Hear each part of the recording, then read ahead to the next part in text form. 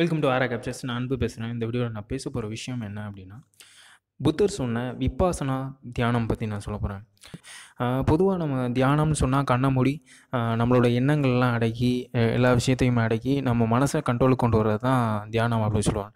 ஆனால் புத்தர் கொஞ்சம் வித்தியாசமானவர். இதில் மட்டும் இல்லை எல்லாத்துலேயுமே வித்தியாசமானவர்.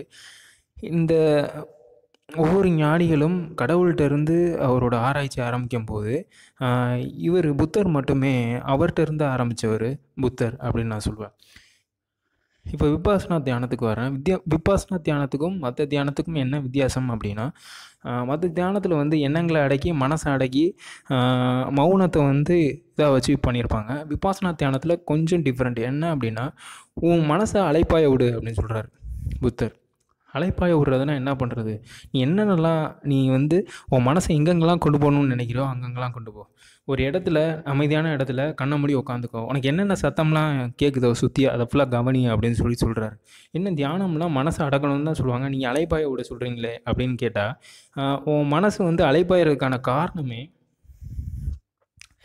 ஏதோ ஒன்று அது தேடிக்கிட்டே இருக்கும். ஏதோ ஒன்று தேடிக்கிட்டே இருக்கும். ஸோ உன் மனசை அலைப்பாய விடு. கொஞ்ச நேரத்தில் அதுவே அலைப்பாய்ஞ்சிட்டு அதோட எனர்ஜி முடிஞ்ச உடனே அதுவாகவே அமைதியாகும் அப்படின்னு சொல்கிறாரு புத்தர். ஸோ இதை தான் இந்த வீடியோவில் பேசணும்னு நினச்சேன். விபா விபாசனா தியானம் வந்து யார் யாருக்கெல்லாம் பண்ணணும்னு தோணுதோ பண்ணுங்கள் இது ரொம்ப யூஸ்ஃபுல்லான தியானம். உங்களுக்கு வந்து ரொம்ப கான்சன்ட்ரேஷன் கொடுக்கும். ஒர்க்கை வந்து உங்கள் மைண்டை ஹண்ட்ரட் பர்சன்டேஜ் யூஸ் பண்ணோம் அப்படின்னா ஒர்க்கில் தெளிவாக இருக்கணும் அப்படின்னா விழிப்புணர்வோடு இருக்கணும் அப்படின்னா இந்த வீடியோவை நீங்கள் ஃபாலோ பண்ணுங்கள் தேங்க்யூ இந்த வீடியோவை பார்த்தவங்க எல்லாத்துக்கும் தேங்க்யூ இந்த வீடியோ உங்களுக்கு பிடிச்சிருந்தா சப்ஸ்கிரைப் பண்ணுங்கள் லைக் பண்ணுங்கள் கமெண்ட் பண்ணுங்கள்